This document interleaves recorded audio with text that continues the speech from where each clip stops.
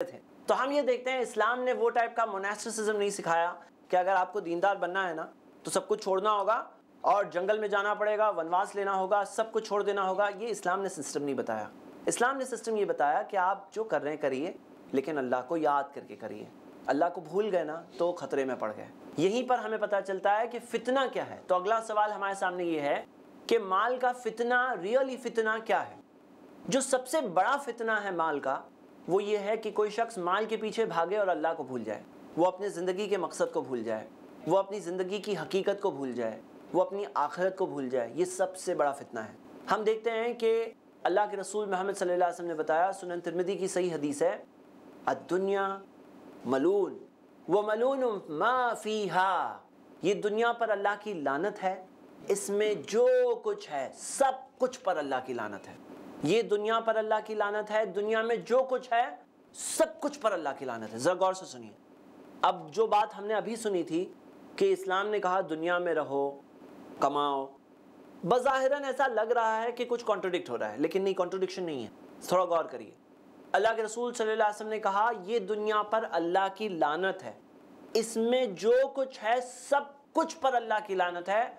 मलून माफीहा इल्ला, सिवाय। जिक्रुल्लाह, अल्लाह की याद। वमा व अल्लाहु याद से जुड़ी हुई चीज़ें।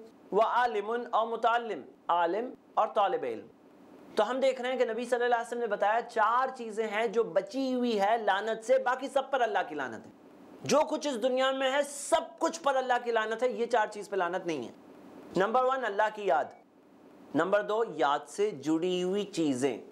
याद से जुड़ी हुई चीज़ें। क्या तिजारत अल्लाह की याद से जुड़ सकती है? पैसा कमाते टाइम पे कोई अल्लाह को याद कर सकता है? अल्लाह को याद करेगा। अल्लाह ताला को भूल गया तो हलाल और हराम नहीं देखेगा।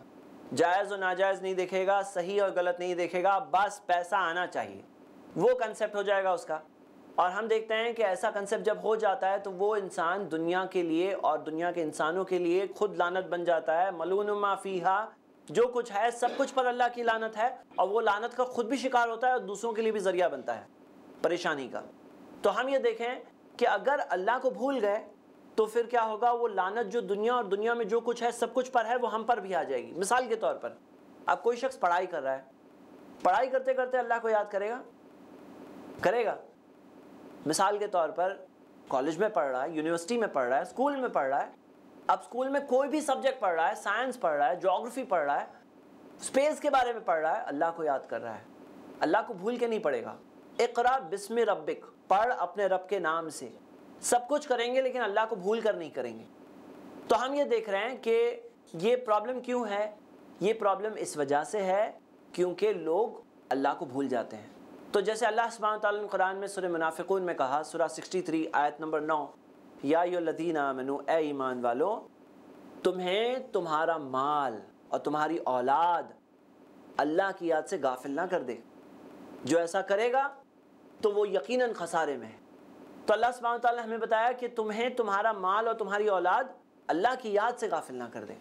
अगर अल्लाह की याद से गाफिल कर दिए तो बहुत बड़ा नुकसान हो गया। तो अब मिसाल के तौर पर एक मुस्लिम ताजर है, एक मुस्लिम बिजनेसमैन है उसके पास एक चांस है। कोई शख्स सर्विस कर रहा है, कोई शख्स जॉब कर रहा है, जो कुछ कर रहा है। अब उसके पास एक चांस है कि वो अल्लाह के फजल को पाने की कोशिश कर रहा है, हलाल रोज़ी को पाने की कोशिश कर रहा है। लेकिन अल्लाह को भूल कर नहीं कर रहा है। अल्लाह को याद करके कर रहा है। और यही एक बहुत अहम बात है।